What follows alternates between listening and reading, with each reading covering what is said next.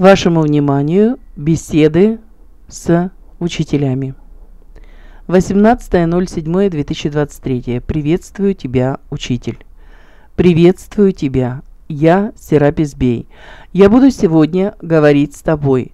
Я хочу сказать следующее. Каждого человека можно сравнить с волшебником. А каждый волшебник обладает магией. Также у каждого волшебника есть инструмент под названием волшебная палочка.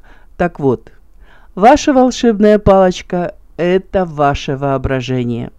Ваша способность фантазировать может творить чудеса. Вы должны регулярно задействовать свое воображение для работы со своим подсознанием. Построение правильных, светлых, конструктивных, внутренних образов – это прямой путь к исцелению и не только. Вы способны научиться творить свою реальность как поодиночке, так и совместно. Но пока мешают стереотипы мышления и неверие в чудеса, нужно открыться своим самым светлым желанием и воплотить их в жизнь.